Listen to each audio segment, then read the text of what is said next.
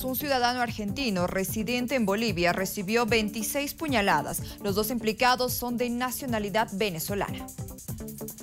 En fecha 13 de diciembre, dos personas de nacionalidad venezolana imparten 26 puñaladas a un súbdito argentino, ocasionándole lesiones y 20 días de impedimento.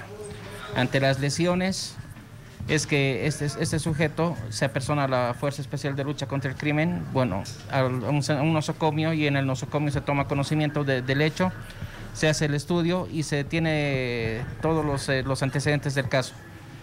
Se identifica a través de los rasgos característicos de estas dos personas, las vestimentas y las características fisonómicas de, estas, de estos sujetos y en esas circunstancias es que la FELCC realiza los diferentes operativos. El día de hoy, en horas de la mañana, logran el arresto de esas dos personas.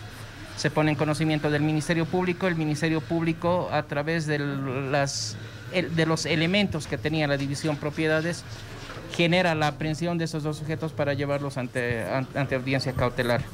Estos sujetos manifiestan que habrían sustraído la suma de 200 bolivianos y un equipo celular a este súbdito argentino.